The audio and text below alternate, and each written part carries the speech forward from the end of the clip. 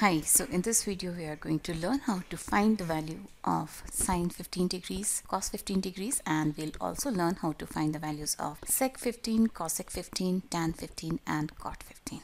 So once we find the values of sine 15 and cos 15, all other things will be very easy. So if you remember the formula for cos A plus B was cos A cos B minus sine A sine b. And if I assume a is equal to b is equal to theta, then the formula for cos 2 theta will be cos square theta minus sine square theta. I'll just substitute theta in place of a and b. And cos 2 theta can also be written as cos square theta minus 1 minus cos square theta because sine square theta is equal to 1 minus cos square theta and this comes from the formula sine square theta plus cos square theta is equal to 1.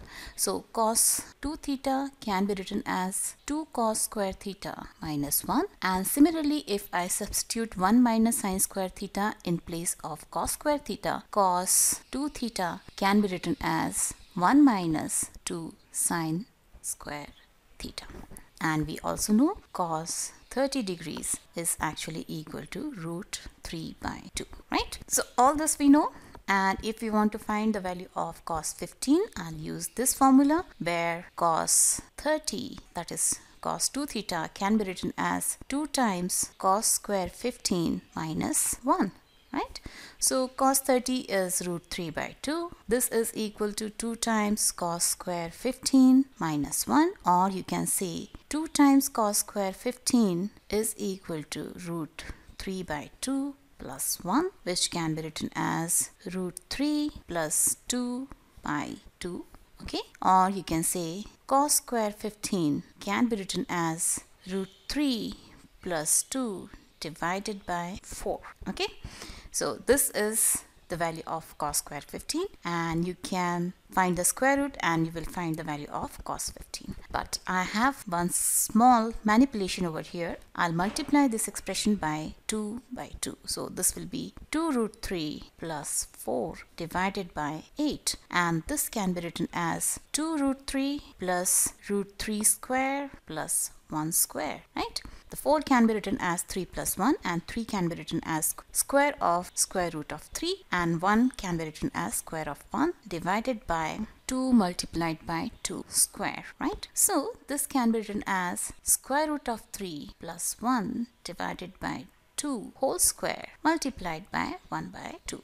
So this is the value of cos square 15 and yes, so cos 15 will be you have to take the square root of the right hand side. So this is in the square. So the square root will be root 3 plus 1 divided by 2 and square root of 1 by 2 will be 1 by root 2. So this will be root 2. So the value of cos 15 is root 3 plus 1 divided by 2 root 2. And now we can find the value of sine 15. So sine square 15 will be equal to 1 minus cos square 15 and cos square 15 was this. So sine square 15 will be 1 minus root 3 plus 2 divided by 4 and everything is inside the bracket.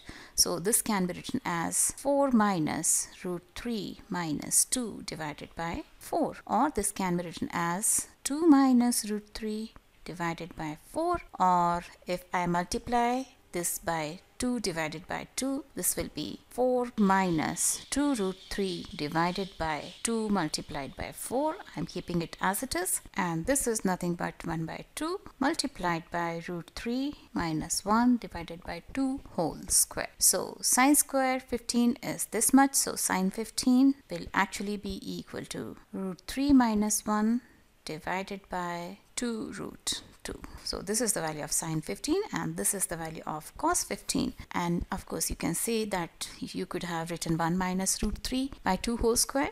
So 1 minus root 3 will give us a negative value whereas 15 degrees lie in the first quadrant where both sine theta and cos theta are positive.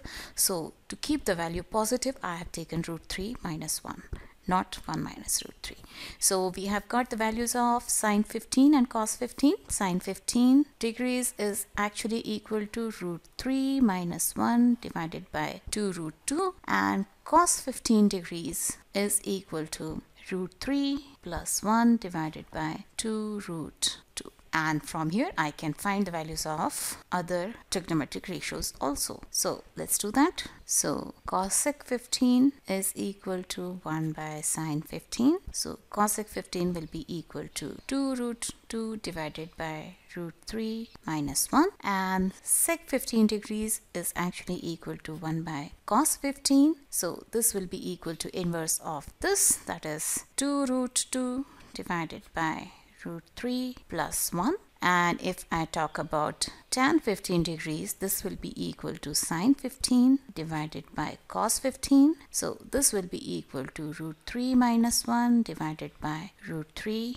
plus 1 or if I solve it further that is if I multiply both numerator and denominator by root 3 minus 1 this will be root 3 minus 1 whole square divided by root 3 plus 1 multiplied by root 3 minus 1 will be root 3 square that is 3 minus 1 so this will be equal to 3 plus 1 minus 2 root 3 divided by 2 so this will be equal to 4 minus 2 root 3 by 2 or 2 minus root 3 and similarly cot 15 can be written as cos 15 divided by sine 15 and this will be equal to root 3 plus 1 divided by root 3 minus 1 and now I'll multiply both numerator and denominator by root 3 plus 1 so this will be root 3 plus 1 whole square divided by root 3 plus 1 multiplied by root 3 minus 1 will give you